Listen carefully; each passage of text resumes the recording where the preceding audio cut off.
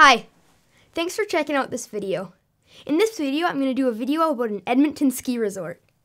Yeah, it's not huge, but kind of like the biggest one in Edmonton, Rabbit Hill. Rabbit Hill has five runs, two terrain parks. Right now it is only one because the other two aren't open, so there's a temporary one on the intermediate Bunny Hill, a cross track, one bunny hill that consists of two sides, and an intermediate bunny hill with two sides, one of which right now is being used for the temporary terrain park. Let's start with just the runs. The main run is Bay Street, which goes straight down the hill with no turns. This run is a blue square.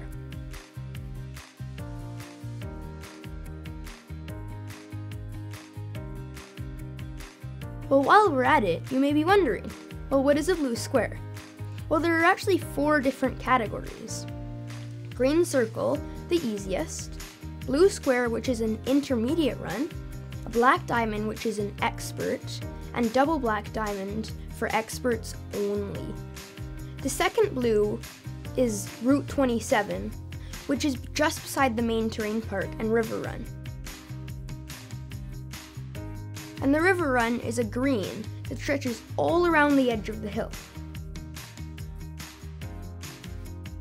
The other green is the bunny hop, which is beside the cross track, but this year the cross track takes up the whole run, which makes this run a blue.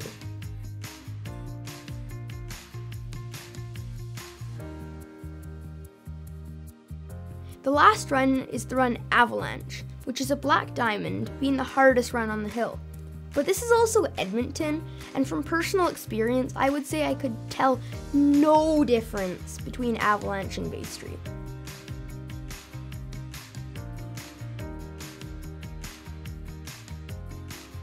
The main terrain park is in between Avalanche and Route 27 and has a ton of jumps and rails and just terrain park stuff. The other terrain park you can get to from the river run, which does not have much, just a few rails and a jump. The very beginner bunny hills are at the end of the river run and can also be really easily accessed from the end of Route 27 and Avalanche.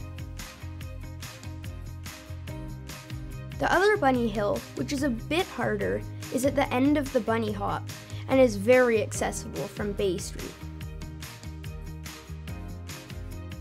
Here's a chart on the screen, and this info is, is as of December 9th, and by the time you see this video, things may have changed drastically. And who knows, maybe every run will be open by the time you see this video. I hope you enjoyed this video, and if you did, smash that like button and subscribe, and I'll see you in the next video.